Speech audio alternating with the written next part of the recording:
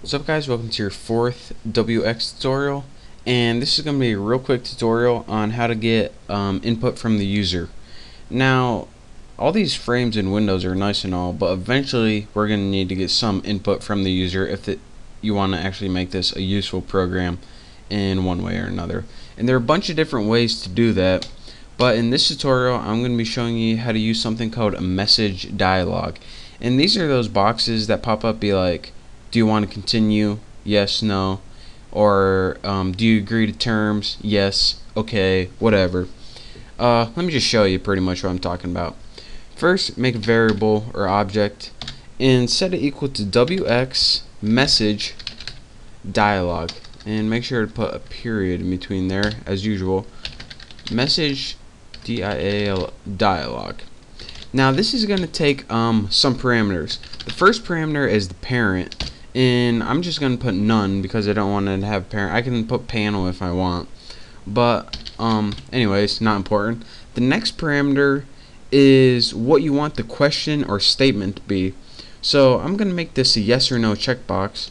So I'm gonna say do I have the best tuts aka tutorials?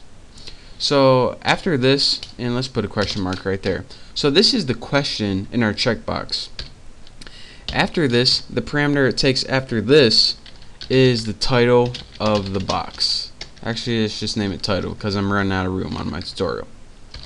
And the last tutorial that it's going to take in this, uh, or excuse me, the last parameter it's going to take in this tutorial is the style. So let's go ahead and put wx.yes in caps underscore, not plus, no.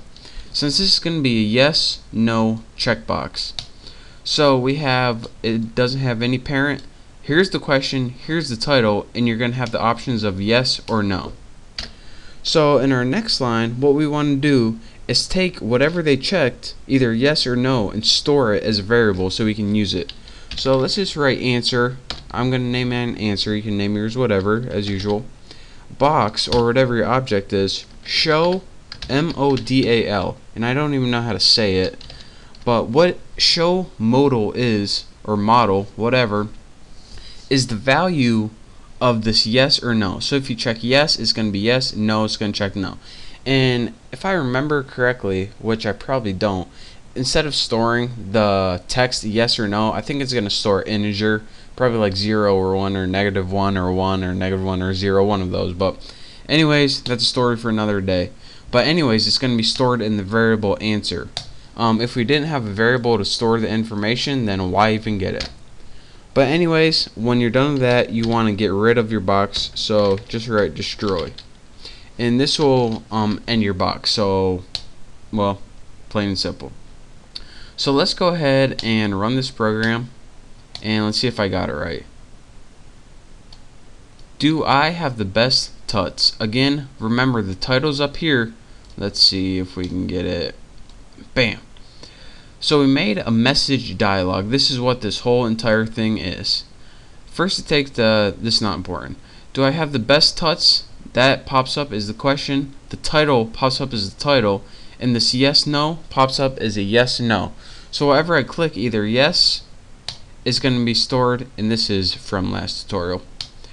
If I click yes then answer is going to be equal to yes. If I click no answer is going to be equal to no and once that variable is stored then the box destroys itself.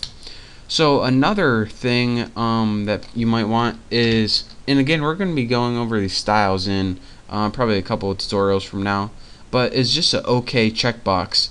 In let's just say um, go on or something like that. It wouldn't be a question. Since you just have OK now once you run it and it says go on, you just have a plain old OK, no options, no yes or no. So go ahead and click that and then you can move on. So that's how you make a basic message dialog, it's called. And again, you can use your styles in your last parameter have a OK or a yes no. If you have a yes no, it's often useful to use this variable to store the value of whatever they checked so you know what they checked. So thank you for watching. Um, in the next tutorial I'll be showing you some other ways to get input from the user. But again, thank you for watching. Don't forget to subscribe, and I'll see you next time.